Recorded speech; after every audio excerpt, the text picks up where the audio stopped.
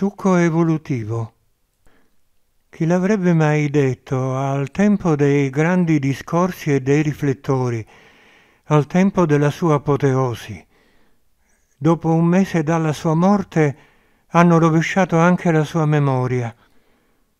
Quella mattina la sua statua stava bianca ed enorme in mezzo al giardino dello scultore.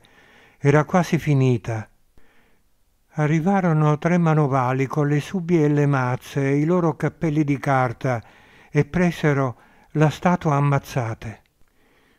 La testa crollò con un tonfo sull'erba, gli scalpelli sfregiarono il volto e spensero gli occhi. Un documento venne firmato e fu tutto. Commento. Si può rovesciare la memoria di chiunque. Chi non ha una visione trascendente della vita grida allo scandalo, come se la vita di un personaggio o di uno sconosciuto avesse un valore oggettivo e potesse essere valutata come giusta o ingiusta. Invece la vita di ognuno, per il fatto stesso che è stata vissuta, ha già adempiuto il suo compito, che è quello di evolvere l'individuo.